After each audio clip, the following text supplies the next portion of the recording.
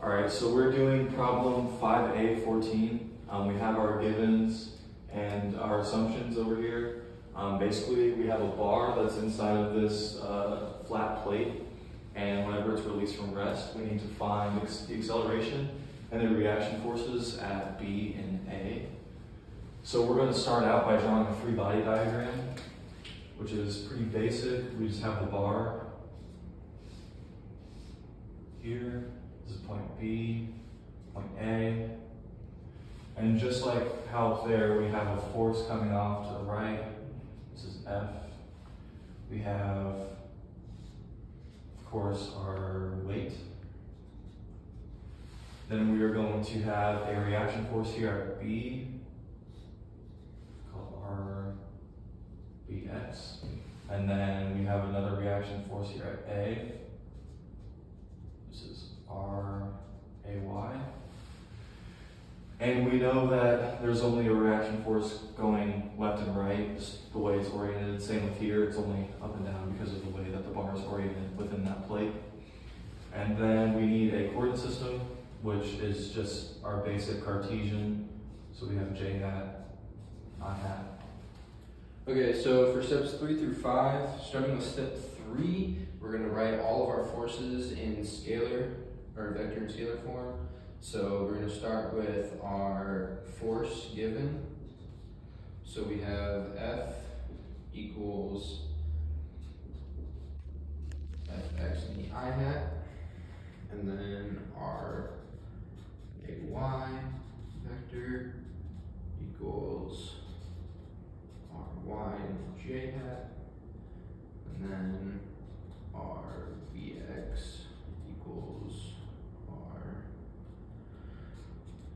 the i hat, and then you have a weight force, and that is your w in the j hat. So then for step four, just writing your acceleration equation. So in this case, it's pretty simple. You're just gonna have ag equals agx in the i, and then plus agy and the j. So that's it for your acceleration. And then five is writing your sum of the moments, or not sum of the moments, sum of the forces equals your mass times your acceleration in g. So F equals M, and this is a g. So for here, you're gonna have it in your scalar equations. So you can have in your j, you're gonna have your ry minus your uh, w in the j, and then equals m times agy, and then I had fx plus rx equals m agx. So those are your scalar equations. So that will be equations one and equations two. Okay, so I went ahead and drew just a little schematic of all the forces and the reaction forces because we need to next find our moments um, for the Euler's equation, which is the sum of the moments about g, is ig alpha. Um, so we chose point G just because it gets rid of um, the weight force acting at G. So based on some basic geometry, we were able to find the side lengths here and the distances for the reaction forces.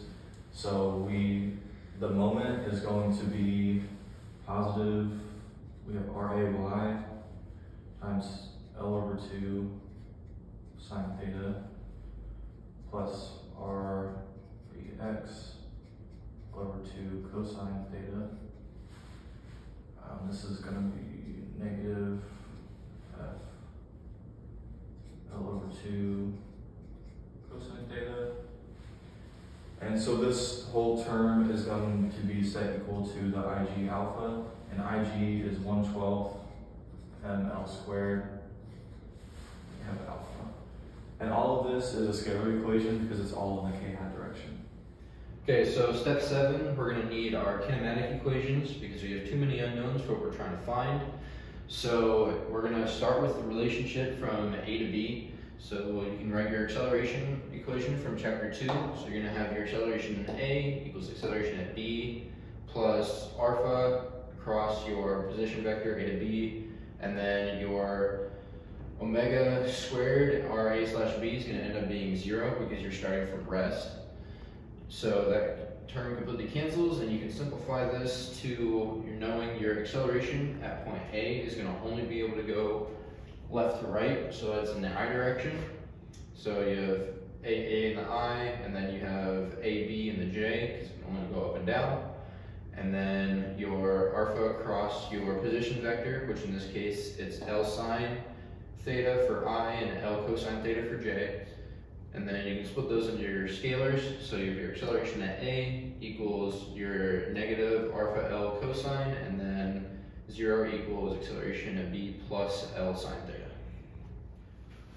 Okay, so moving on, we need to somehow relate this to the acceleration at g because that's all we've known so far. So we're gonna go from point G to B.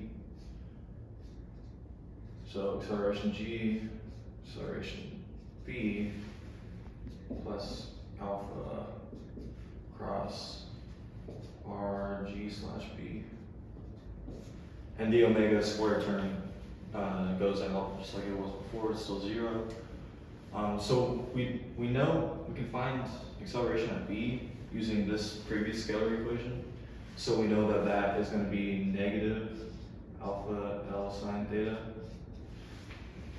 And then we, and that is in the j hat direction.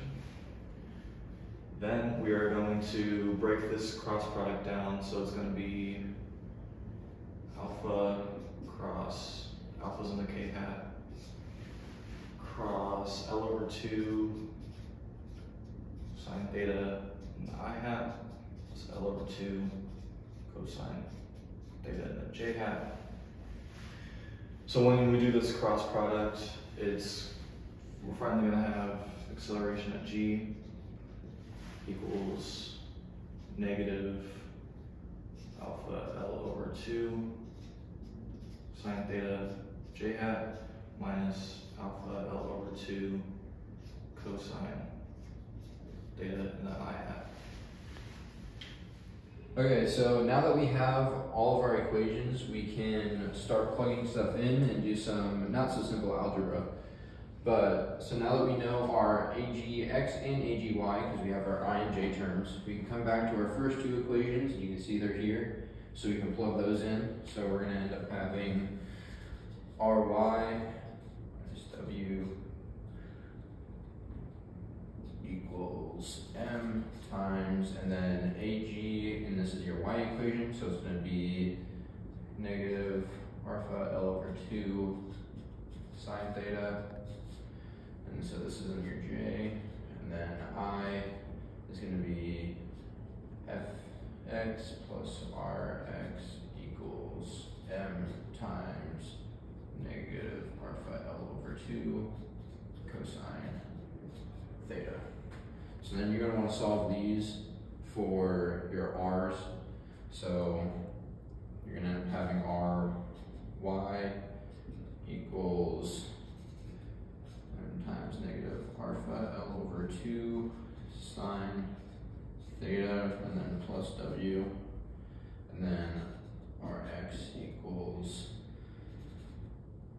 m negative alpha over 2 cosine theta, and that's going to be minus fx.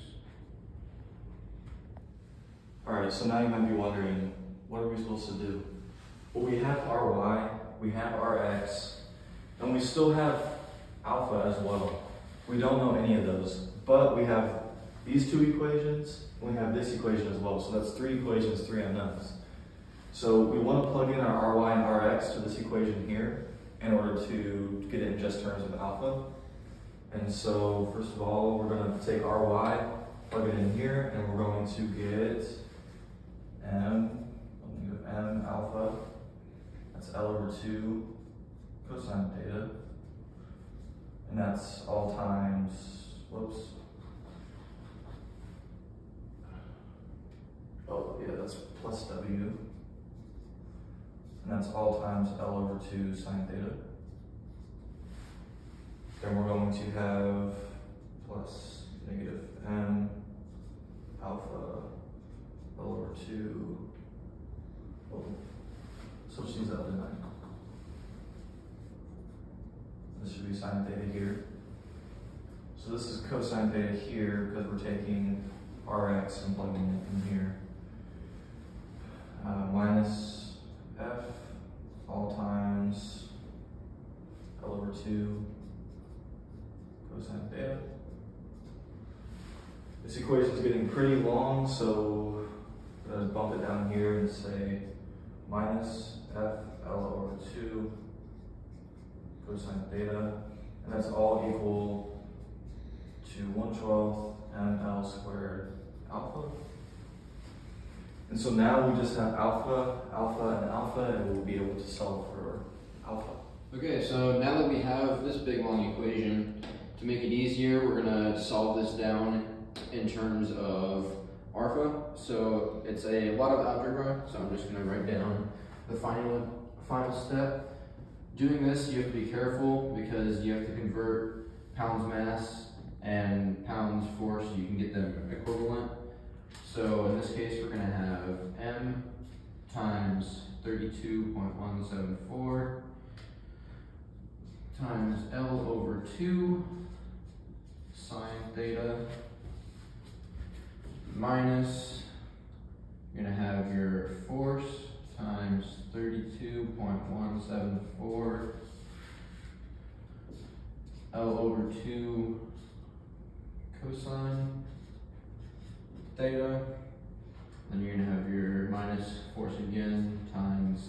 32.174 times L over 2 cosine theta, and that's going to be all over 1 12th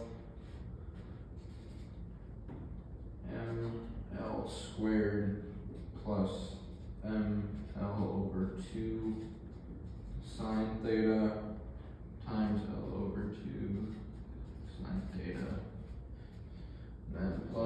W L over two cosine theta, L over two cosine theta.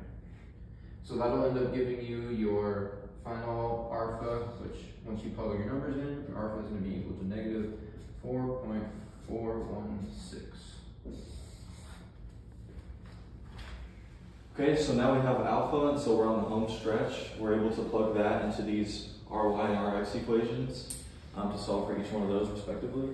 So we're going to have our y is going to be equal to our mass times negative alpha, which is 4.416.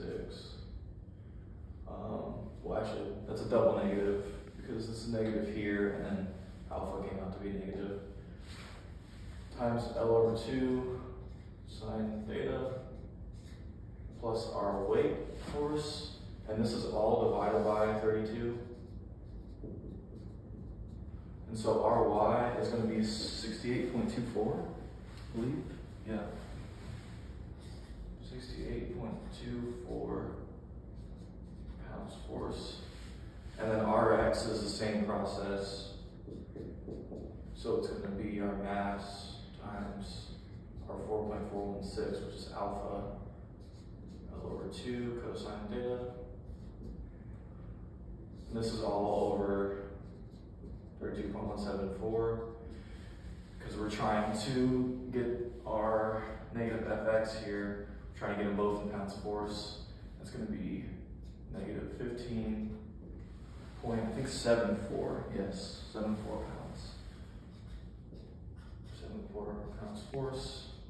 And so we can see back up here that this is going to be pushing over like this at negative 15 pounds.